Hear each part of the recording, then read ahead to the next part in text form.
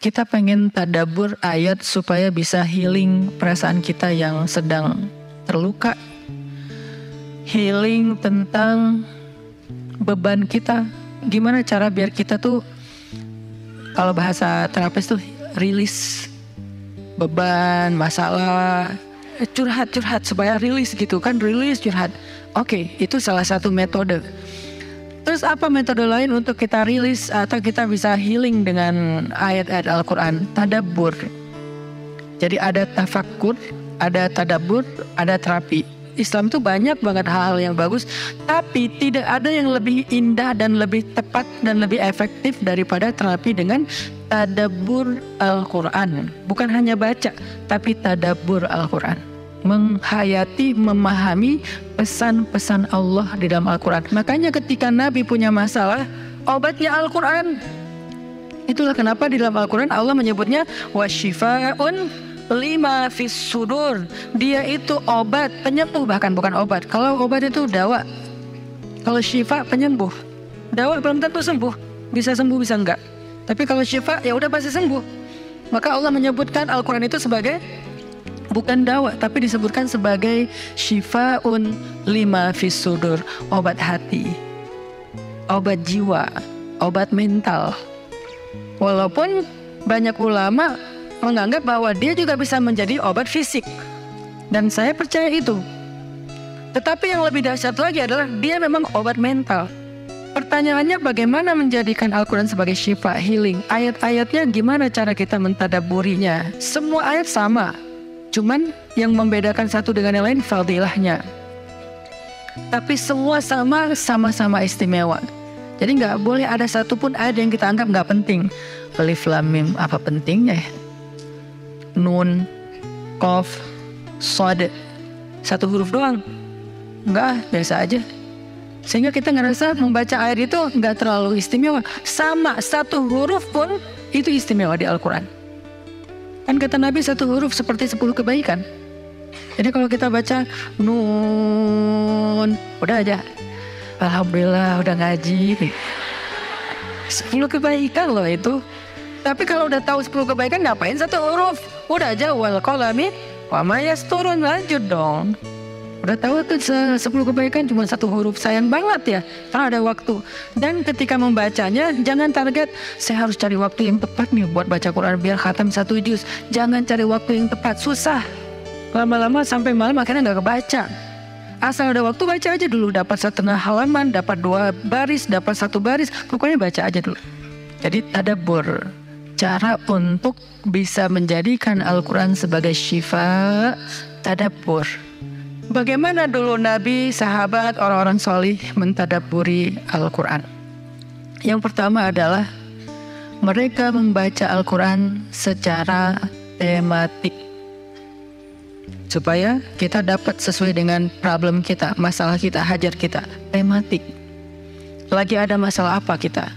Karena ayat Al-Quran turun kepada Nabi pun secara tematik secara kontekstual. Apa yang dialami Nabi, itulah ayatnya.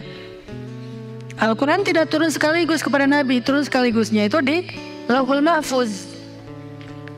Lalu sampai kepada Nabi berangsur-angsur selama 23 tahun. Kenapa berangsur-angsur Ustaz? Dan kenapa nggak urut? Turunnya yang pertama adalah Al-Fatihah dan Al-Alaq. Kenapa sekarang Al-Fatihah lalu Al-Baqarah?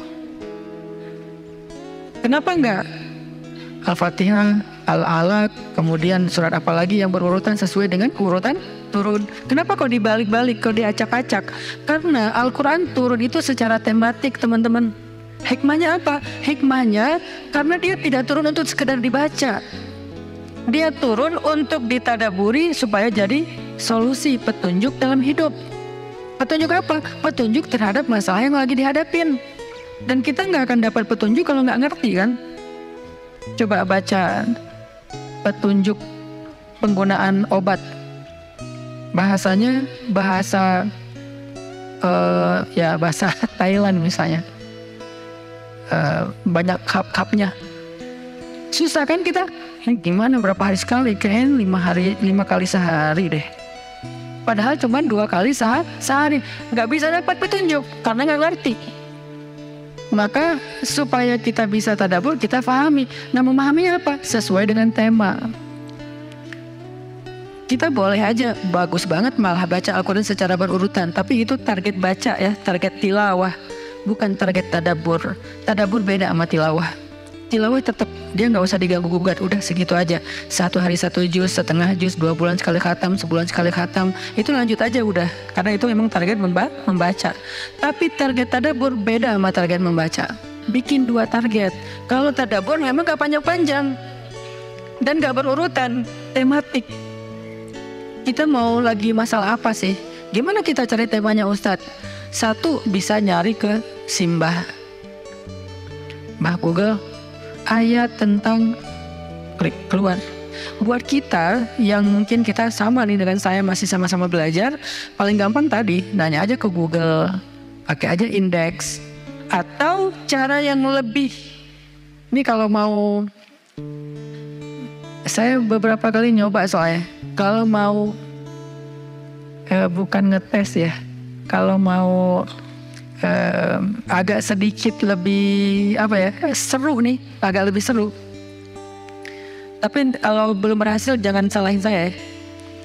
kalau agak lebih seru nih saya suka gini pegang Quran. Lagi ada masalah nih Bismillah. Ayatnya pas.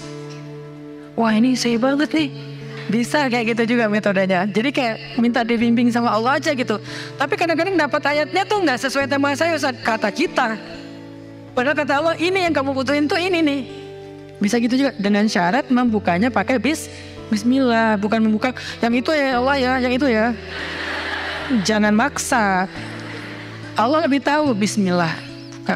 Ayatnya tentang makanan. Oh mungkin kita masalahnya emang masalah berat badan mungkin atau masalah mubazir mungkin.